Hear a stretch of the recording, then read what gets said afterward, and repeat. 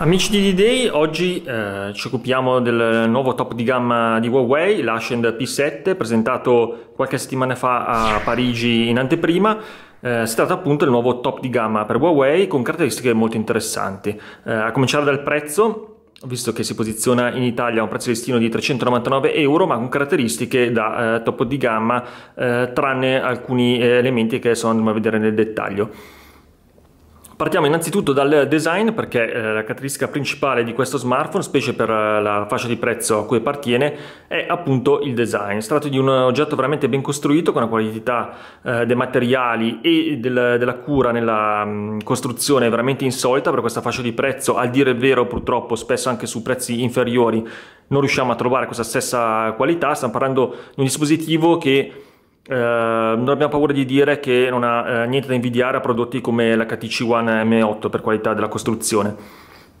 Certo abbiamo più plastica sul frontale e eh, sul retro in realtà che è costruito da un, una specie di vetro costituito eh, da sette strati eh, che praticamente eh, permettono di avere oltre che vabbè, la rigidità eh, necessaria per, con, per, consentire una eh, buona robustezza del dispositivo anche un interessante effetto tra virgolette 3D per cui in realtà non sappiamo bene se dal video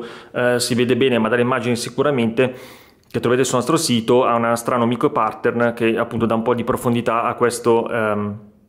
a questa parte posteriore del dispositivo. Eh, vediamo l- l- il bordo invece metallico simile all'alluminio eh, che in realtà integra due antenne, ce n'è una sotto e una sopra, eh, questo per migliorare la ricezione ehm, di, eh, Huawei dichiara di 2 eh, dB ehm, rispetto a una configurazione monoantenna che sicuramente aiuta eh, specie con il 4G.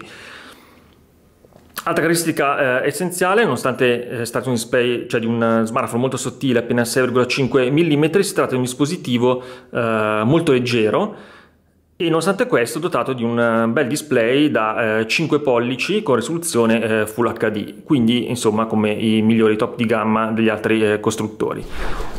Andiamo a sbloccare eh, lo schermo per vedere eh, l'interfaccia, si tratta naturalmente di uno smartphone basato su Android ma con una ehm, interfaccia proprietaria di Huawei che chiama Emotional eh, UI, cioè UI scusate, cioè User Interface ehm, che cambia un po' eh, quelli che sono i canonici, diciamo i paradigmi classici di Android. La screen principale sembra la solita con le quattro ehm,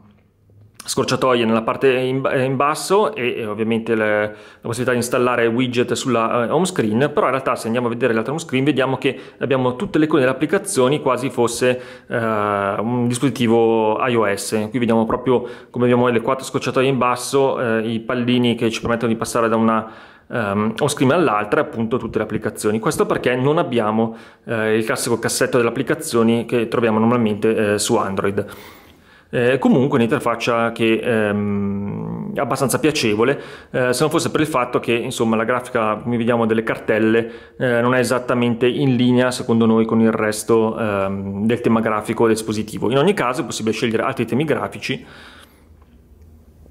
da questo menu in cui poi potremo andare anche a installare in futuro, infatti vediamo locale online, eh, veramente eh, centinaia di temi realizzati non solo da Huawei ma anche dagli eh, utenti.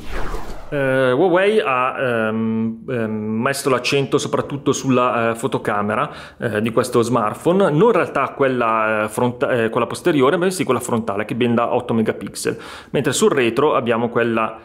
vediamo qui meglio, quella da 13 megapixel con sensore Sony e ovviamente il flash a LED. Quindi insomma caratteristiche molto interessanti.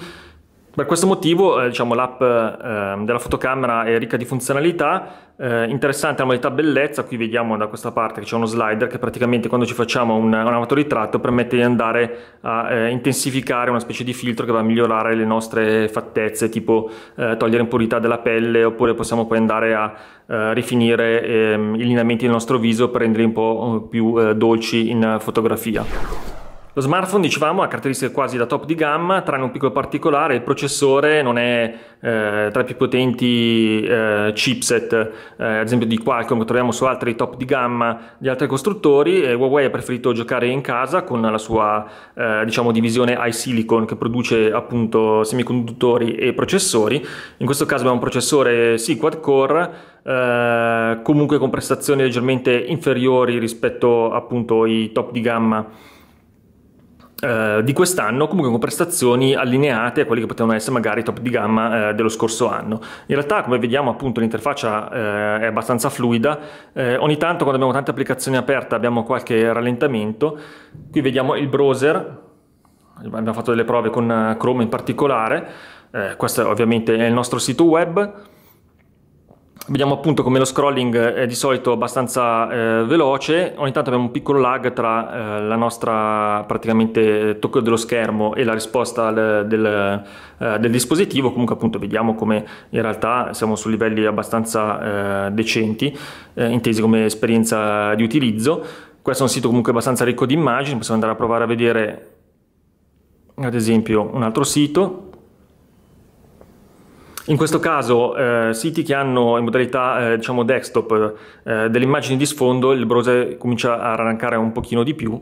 però in realtà niente che pregiudichi, pregiudichi diciamo, l'utilizzo di tutti i giorni. E anzi insomma non abbiamo riscontrato eh, diciamo, particolari problemi da questo punto di vista. A parte il browser che comunque un po' eh, a seconda dei siti può tentennare un pochino, eh, lo smartphone ci è sembrato abbastanza eh, scattante, è possibile passare con abbastanza disinvoltura eh, da un'applicazione all'altra come vediamo in questo modo. Andiamo dalla fotocamera appunto al browser, ritorniamo, ritorniamo alla home page, è tutto abbastanza veloce. E in realtà anche con i giochi 3D eh, di un certo spessore, noi abbiamo provato come al solito Dead Trigger 2, eh,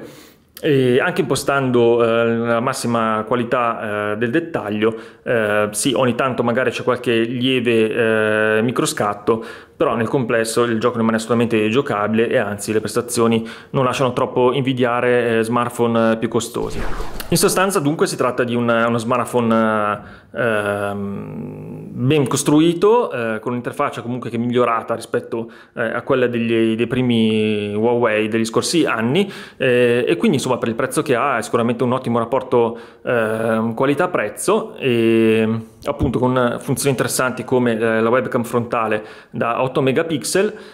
e appunto un prezzo eh, davvero eh, interessante per quello che viene offerto dal telefono.